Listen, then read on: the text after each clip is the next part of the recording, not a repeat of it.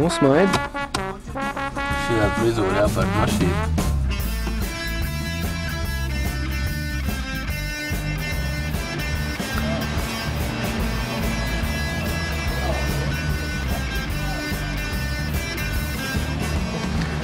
Kā tu jūties? Baigi normāli. Beidzot, mašīna, beidzot man vārdu tādu. Neviena jau nav bijusi uz manējā vārdu.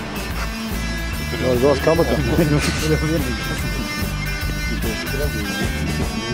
Lūdumā slēgta ķēvēm ar vienu, jo kumeļiem baltiem nav kurēs cienu.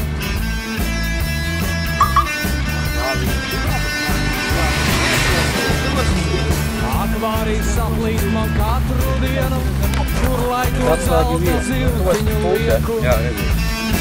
Ok? Labi. Atbildīt par skotu. Atbildīt par skotu. Pa kājām.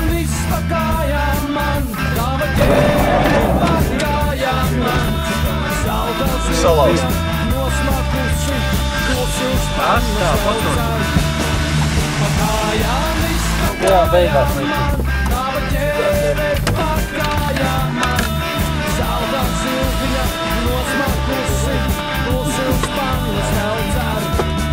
Kāds ir? Baigais dāmas. Šito te liek apgriezt. Vai kāds tev? Te? Nē, nu nevajag. Uz atveju. Ir rāģiņš, viņam tas ir virsū uzliks. Jā, jā, tas, tas ir. Atvērs, slēdz. Lūkai ir šitā. Tas man liekas labāk. Vai, jā. Ui, kas tu nos?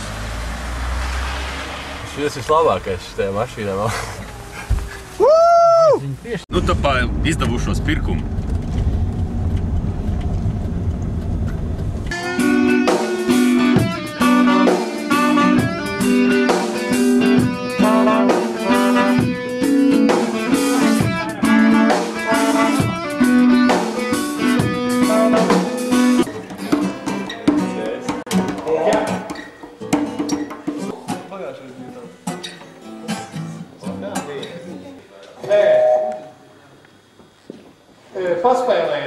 Lūdzu. ir sākušās grupas oranžās brīvdienas 9 gadu jubilejas svinības klubā Falknētpalās Liepājā. Mūsu ceļš tālāk ved Rīgas virzienā caur Rumāniju, Bulgāriju, Maķedoniju, Poliju un citām valstīm. Visi atnācām! Paldies! Lai dzīvo latviešu turbofloks!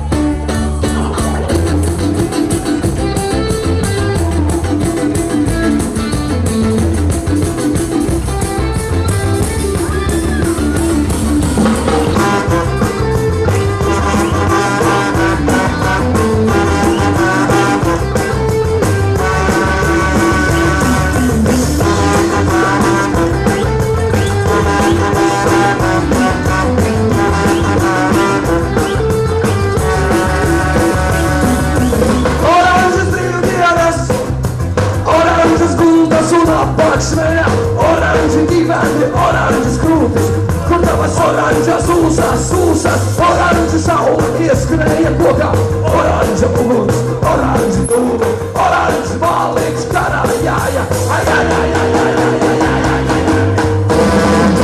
Roberts Goldziņš un grupa Rastīja Putē!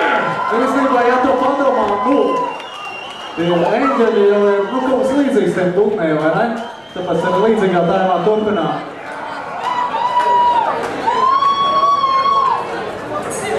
Ladies and gentlemen.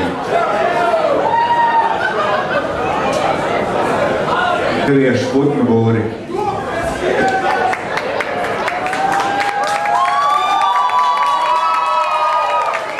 Jo četri brauc vieni paši tālāk ceļojumā. Un lai šis vienīgais trīstūris jums priecē,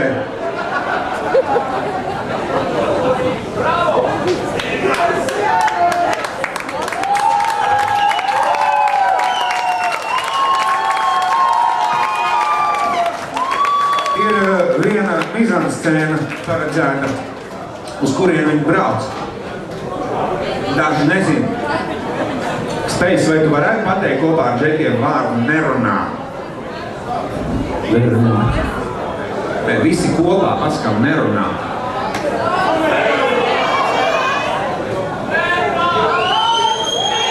Bija tā vai ne? Nerunā, es vēl pa Karpatiem. Nejautā, es vēl pa Karpatiem. Nerunā, es vēl pa Karpatiem. Bet kad manis nav, es pa Karpatiem.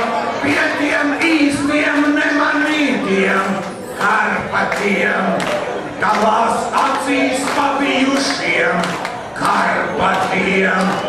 Kā no dziesmas iznākušiem Karpatiem. Te par dziesmu palikušiem